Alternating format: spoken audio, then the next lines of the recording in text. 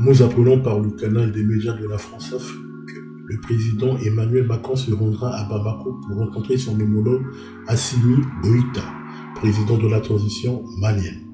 Une visite qui intervient après plusieurs tensions diplomatiques entre les deux pays. Pourquoi la France ne comprend pas qu'il est temps pour elle de quitter définitivement le sol africain? Pourquoi la défense des pays africains doit-elle faire l'objet de discussions à Paris, ou relève du pouvoir régalien la France La visite embarrassante de Macron à Bamako marque un tournant définitif dans l'émancipation du Mali, le pays de Modibo Keïta.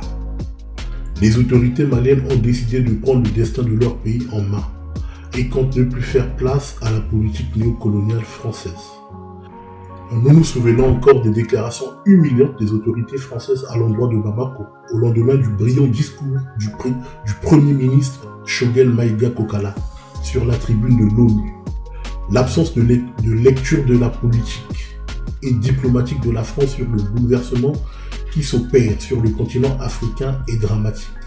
Les peuples africains aspirent à la liberté et à la démocratie et le droit de disposer de leurs ressources naturelles sans la dictature d'un pays quelconque. La France doit avoir le courage de partir, de rapatrier ses bases militaires clandestines. Le drame de la France, c'est de ne pas avoir pensé un modèle de développement sans le pillage des matières premières africaines.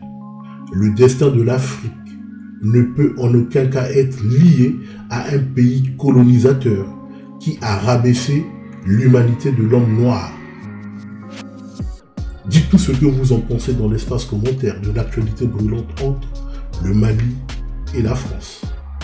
Pour nous soutenir, abonnez-vous.